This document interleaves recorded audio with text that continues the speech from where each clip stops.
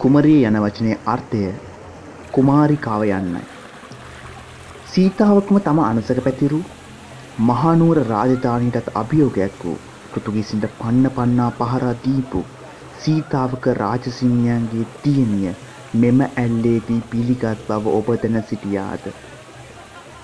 එම කුමාරිකාව පිළිගත් පසු මෙම ඇල්ල කුමාරි ඇල්ල ලෙස හැඳුන් වූ බව ජනප්‍රවාදය සඳහන් වනවා.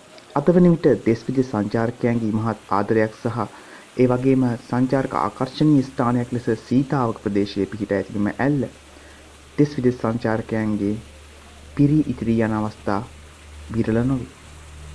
අපි දැන් ඇවිල්ලා ඉන්නේ කුමාරි ඇල්ල කියන ලස්සන බොහොම මනරම් පරිසරයකට තමයි අපි ඇවිල්ලා ඉන්නේ.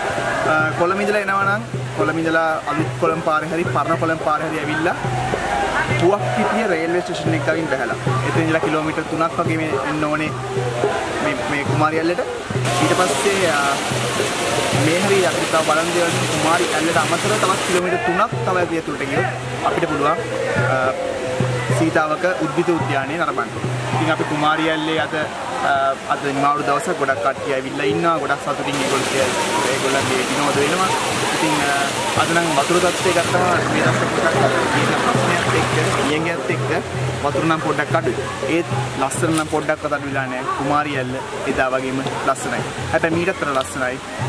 අපිට වැස්ස දවසක ආවනම් වතුර තියෙන දවසක ආවනම් අපි එහෙනම් තවත් දවසක හමු වෙමු. තවත් පුංචි අහිංසක ඉල්ලීමක් තියෙනවා කරන්න. මේ වගේ ලස්සන පරිසරයකට එකතු වුණා ආවට පස්සේ කවදාවත් කැලි කසල නම් දාලා යන්න එපා. ඔයාලා ගෙනන පුංචි කොපි කොලේ පවා අරගෙන යන්න. මොකද මේ ලස්සන දිගටම අපි තියාගන්න ඕනේ. මතු පරුපටත් මේ ලස්සන විඳින්න. එහෙනම් සුබ දවසක් වේවා.